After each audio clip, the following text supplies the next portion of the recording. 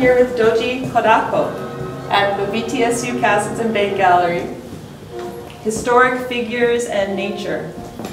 And we want to talk about his favorite painting, Golden Sun. Dodji, why is this your favorite painting? First of all, I want to take this moment to thank everyone. I want to thank you. I want to thank Oliver. I want to thank Crystal. I want to thank everybody at the State University of Vermont, Castleton, for giving this platform to be able to show some of my work. And uh, back to this subject, the Golden Sun. Now, first, first of all, I didn't intend to create this piece. It came out of, um, what's the term, uh, by accident. Because I was working on other projects. I have a lot of pieces. I usually work multiple simultaneously. I have like a two or three pieces I'm working at the, time, at the same time. And I had a lot of leftover paints. So I didn't know what to do with them. Usually I would save the pen for some other projects. And this time around, I just so happened to have this empty canvas hanging on the wall. So I went over there with a, a palette knife. And I'm like, you know what? I could do something with this. So I went in, I scribbled something on the canvas and I went away, came back again second day, and I did the same. And with time, I can still, I see the shape forming. Before it was just like a glow of light, like a sun ray. And I'm like, what if somebody's staring in sun, sunlight? And this is how the piece came to be. So it was a young man staring at the sunlight, trying to see himself through the sun or whatever you know, interpretation someone might give it. So that's what I like. It's a, it's a form out of nothingness. Yeah, that's why I like it too. Happens to be my favorite also. So yeah, this is very arresting to me. Proud of you for making this and for actually for not even using a reference. It's very impressive.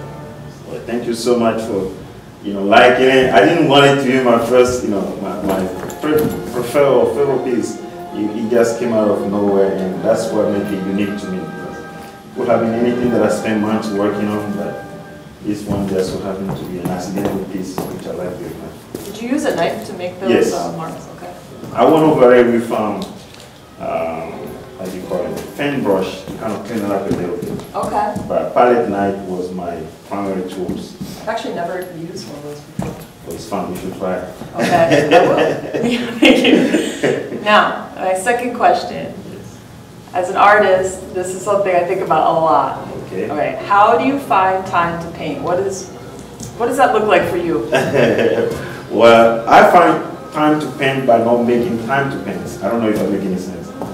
Uh, I go with the flow. I have a busy schedule, uh, and if, for instance, I get out of work and I feel tired, and I go to gym and I come back, if I still have some time, I go to basement and just stare at my old pieces. And out of the blue, I might find myself painting, and somebody had to come and drag me out of the basement. I'll be there till tomorrow morning. Yeah. So that's usually how it comes to me.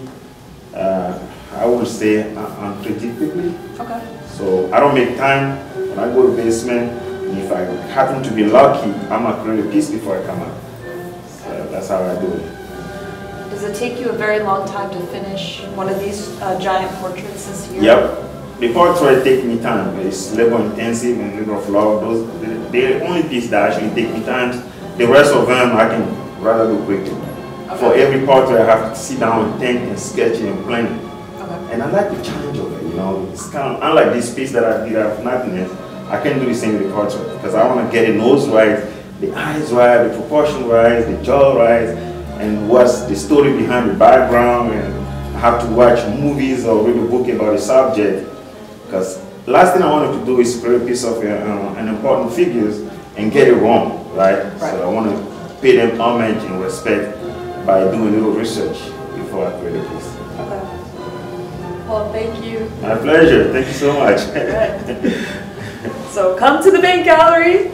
All right. Thank you so See much. See it for yourself. It's so different in person. Please come over. Don't think look at my works.